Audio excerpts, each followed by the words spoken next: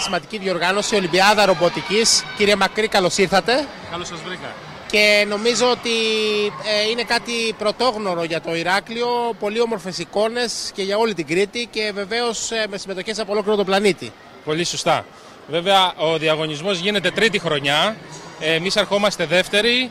Είναι ένας διαγωνισμός ο οποίος συνδυάζει τη ρομποτική με, την, ε, με τον αθλητισμό. Είναι ρομποτικά αθλήματα. Ε, είναι ένας διαγωνισμός που μετέχουν ε, χώρες από όλο τον κόσμο, παρασυδιακές δυνάμεις της ρομποτικής όπως είναι η Κορέα και άλλες χώρες. Την επόμενη χώρα φέτος είναι η Αίγυπτος. Εμείς αγαπάμε τον διαγωνισμό και θέλουμε να ερχόμαστε και έχουμε και πολλές ομάδες εδώ που διαγωνίζονται. Φέτος έχουμε τη τιμή και τη χαρά με χορηγό τη Eurobank να έχουμε και μια ομάδα από τον Άγιο Ευστράτιο η οποία συμμετέχουμε με παιδάκια πέμπτης δημοτικού ε, σε δύο αγωνίσματα και είναι εδώ μαζί μας και αγωνίζονται σήμερα και αύριο. Ένα κριτικό νησί που όμως ε, πραγματικά μπορούμε να μιλήσουμε με θαυμασμό για αυτό και την προσπάθεια που κάνουν τα παιδιά από αυτό το μέρος, έτσι.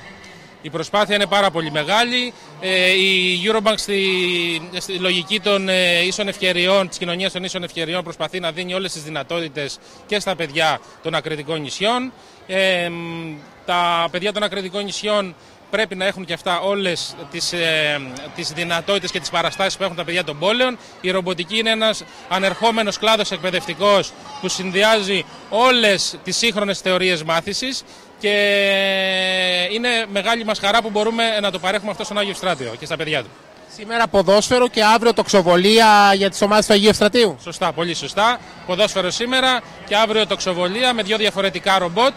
Τα φτιάξαν, τα προγραμματίσανε και είμαστε εδώ για να δούμε τι μπορούμε να κάνουμε και να αθληθούμε και πιο πολύ να απολαύσουν το γεγονός.